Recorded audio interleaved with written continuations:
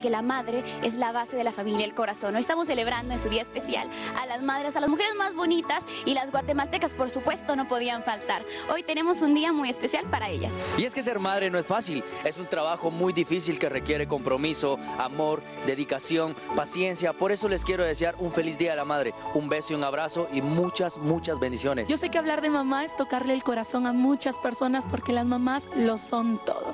Estas que nos apoyan, las que siempre están con nosotros en en las buenas y en las malas. No las celebremos solo hoy, celebrémoslas toda la vida porque ellas se merecen lo mejor del mundo, porque son las que nos tienen aquí. Feliz día, mamá. Felicidades a todas ustedes, madres guapas, que son el pilar importante en la vida de muchos de sus hijos. Espero que hoy se la pasen increíble, no solo hoy, sino toda la vida. Se merecen todo, absolutamente todo. Y recordemos que madre no es solamente la que engendra, sino que también la que cría. Así que un saludo a todas esas tías y todas esas abuelas que han criado a muchos muchachitos que están viendo el programa por ahí.